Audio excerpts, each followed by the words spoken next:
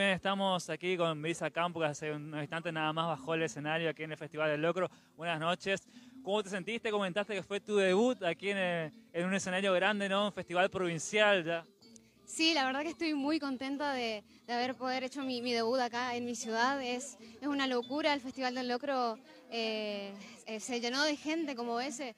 Cuando subí me sentí súper no sé, nerviosa y sorprendida de la cantidad de gente que había, pero obviamente muy contenta porque eh, recibo mucho apoyo de, mi pueblo y es maravilloso. Bueno, te, vi sacándote fotos con chicos que se acercaron, con diferentes personas, eh, bueno, el cariño que recibís ¿no? del, pueblo cruzucateño.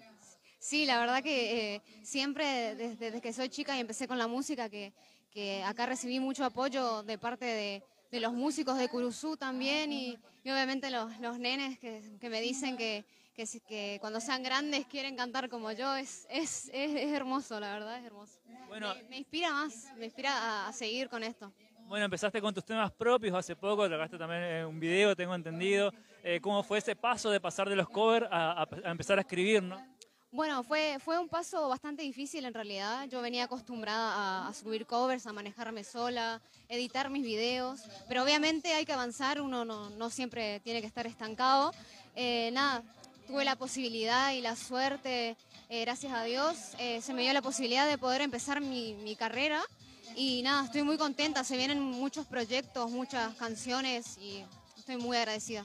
Bueno, Brisa, eh, felicitaciones, que disfrutes de la jornada, muy buen show. y bueno, y lo mejor de acá adelante, este, este camino que recién empieza y que, que espero que tenga, que tenga muchos más escalones. Muchas gracias.